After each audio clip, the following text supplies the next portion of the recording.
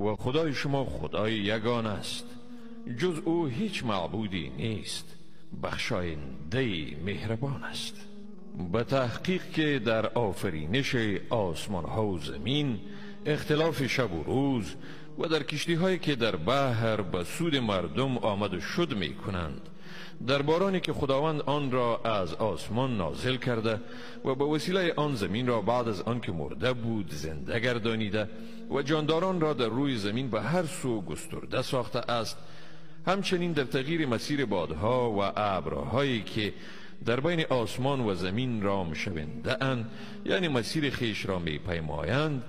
در هر یک از آنها یقینا نشانه است به وجود خدا و یگانگی او برای مردمی که عقل دارند. با این هم هستند مردمی که به غیر از خدای برحق معبودان دیگری را به پرستش می گیرند ایشان را طور دوست می دارند که باید خدا را دوست داشته باشند.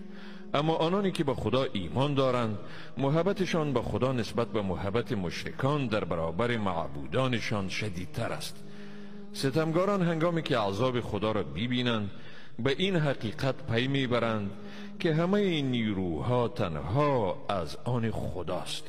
و بیشک خداوند سخت عذاب کننده است. در این حالت است که پیشوایان از پیروان خود بیزاری می جویند عذاب را می بینند و همه وسایل از ایشان قطع می شود در این حال پیروان می گویند ای کاش به ما فرصتی دیگر داده می شد تا ما هم از ایشان بیزاری می جستیم همچنانه که ایشان از ما بیزاری جستند. آری بدین ترتیب خداوند اعمالشان را به آنها برای حسرت خوردنشان می نمایاند و ایشان از آتش دوزخ بیرون شدن نمی توانند